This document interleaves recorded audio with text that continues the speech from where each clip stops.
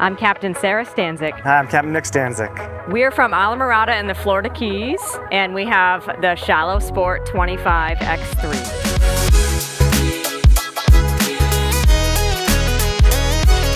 As a child, I think my dream was to have a fishing TV show, and we started doing YouTube almost five years ago. It'll be five years in July. I was just videotaping you know, a lot of our charters out there, and we'd make a video, and it was a great way to build your business, but also to create those memories and then document them so I could look back, you know, with our children growing up and all that stuff. So I can go watch a video and see our daughter, you know, when she's a year old, two, three, four, now she's five, and we have another daughter that's two and a half.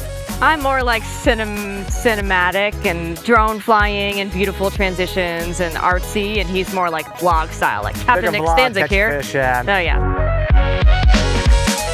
A few years ago, we were in the market for a new bay boat. Steven had the boat down there, and I had never seen one, the X3 before, you know, or Shallow Sport. We were impressed with how good it rode, you know, and it was really stormy and nasty. And like, you sure you want to go? Like, that's when you want to see trial a boat, you know. And, and that was about a year ago, and then we called Wes. We ordered one, and we got it, and it's been the highlight of my last year. I, I really got it to be my boat, and Sara's like, why are you getting this boat? But then it wound up being her boat because she stole it from me and uses it more now. So she's out there lobstering on it, stone crabbing on it. We take the family on it, and between work and pleasure, we've really enjoyed it.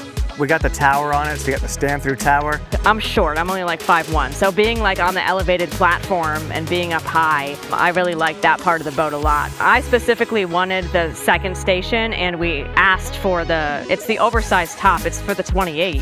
I mean, we'll go offshore and get, you know, get up in the tower and look for dolphin and tuna. They're in and out of the water, lobster and snorkeling, swimming all the time with the kids, the family. Some people are out there chasing the sun. We're chasing the shade a lot of days. We're sitting here in Texas right now. I've never been to something like to this caliber, you know.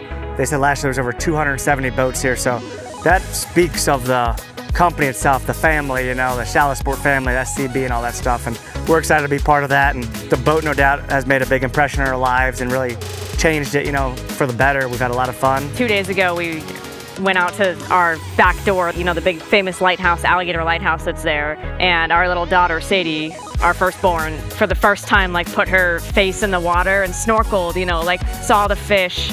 And she kept popping her head up and was like, it's beautiful, you know, and like to me, and we were on the X3, you know, doing it as a family.